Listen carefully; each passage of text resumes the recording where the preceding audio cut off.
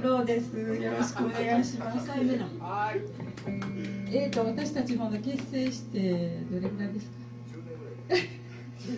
半年も経ってないですね。数ヶ月。はい。で、あの春にちょっとあの出させてもらう機会があったんですけども、ちょっとあのフルメンバーで出れなくてですね。そうです。私もちょっとあのあのこんな声ですけども。